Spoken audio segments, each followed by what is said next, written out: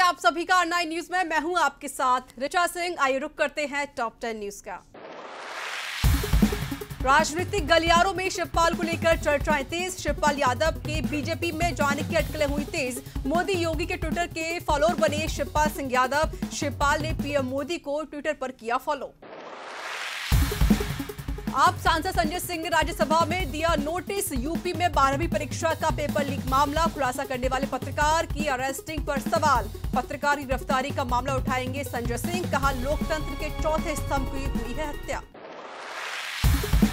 प्रयागराज में बढ़ती महँगाई को लेकर कांग्रेस कार्यकर्ताओं ने किया विरोध प्रदर्शन। कार्यकर्ताओं ने बढ़ते पेट्रोल और डीजल के दामों को लेकर बाइक को गिराया। कहा, रोज़ाना बढ़ रहे हैं पेट्रोल, डीजल के दाम से आम जनता परेशान है। धरना स्थल पर कांग्रेस कार्यकर्ताओं के समर्थन में मुस्लिम महिलाओं ने ट्रैक्टर पर चढ़कर सरकार विरोधी नारे लगाए।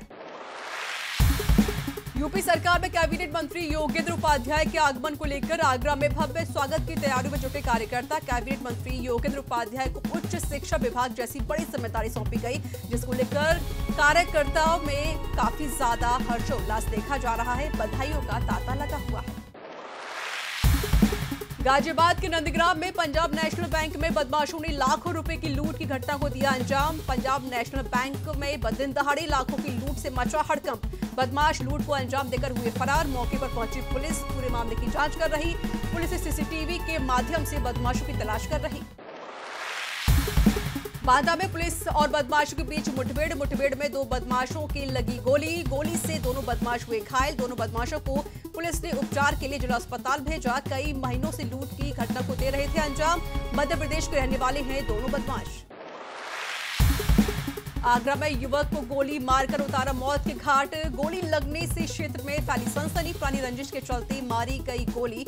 युवक की मौत से परिजनों में मचा कोहराम। पुलिस कलाधिकारी मौके पर पहुँचे। मृतक के परिजनों ने आरोपियों के खिलाफ की तहरीर। थाना डोकी के बरौली गुजर खादर की है घटना।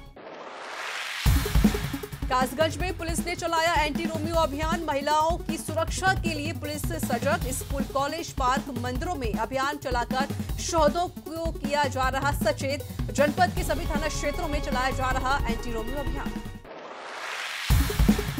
जिला रामपुर की सड़क किनारे मिला ग्रामीण का शव शव की हत्या की जताई जा रही आशंका। भोटे थाना क्षेत्र में गाँव तालकपुर रोड किनारे मिला शव। सूचना मिलते ही पुलिस मौके पर पहुँची, जहाँ शव को पोस्टमार्टम के लिए भेजा गया। एएसपी डॉक्टर संसार सिंह ने किया मौका मुआयना। परिजनों ने हत्या का आरोप लगाते हुए पुलिस को तहरीर दी। आगरा कैंट में जीआरपी पुलिस को मिली बड़ी कामयाबी। जीआरपी पुलिस ने गांजा तस्करों का गिरोह दबोचा। दो महिला सहित चार तस्कर किए गए गिरफ़्तार। तस्कर विशाखापट्टनम से गांजा लाकर आगरा आ रहे थे। वहीं आगरा जीआरपी कैंट में तस्करों से 40 किलो गांजा बरामद किया गया। एनडीपीएस एक्ट के तहत गांजा तस्करों के खिलाफ की जा रही कार्रवाई।